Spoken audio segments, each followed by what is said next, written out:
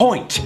Didn't it seem kind of ridiculous taking this matter so seriously to the point of settling it in a legal setting?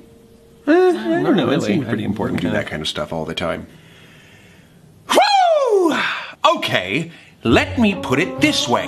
Life is like a pinata. Colorful and full of stuff that makes you happy? Sure, and you want that stuff that makes you happy, right? Do I? Do I? Well, in order to get that stuff, you must attack the pinata. But you're wearing a blindfold right now.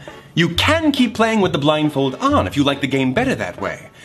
But if you take it off, it's easier to get that stuff you want. Attack the pinata? I believe he's suggesting that you beat someone up and rob their unconscious body, right? No! No?